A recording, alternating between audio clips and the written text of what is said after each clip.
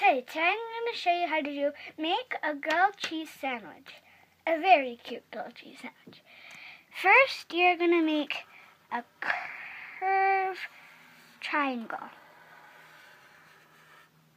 Now you're going to do a little mouth and big eyes. You're going to make these little seed things. And then you're going to make a leaf shape and another leaf shape.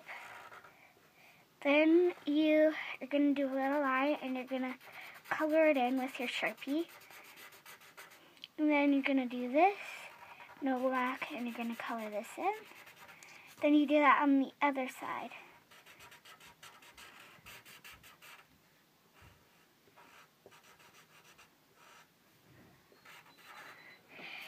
Now you're going to do kind of another part of the other sandwich and you're going to color that in.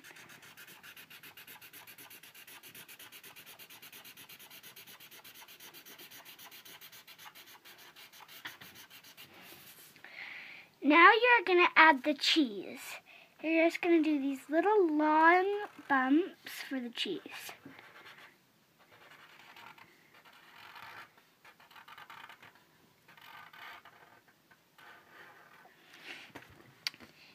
Now we're going to add some of the detail.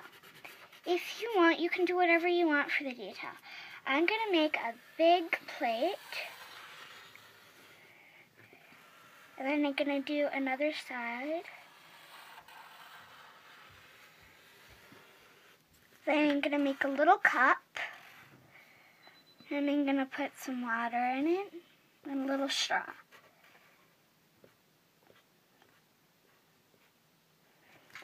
There you have a cute goat cheese sandwich. Now you can color it in. Goodbye.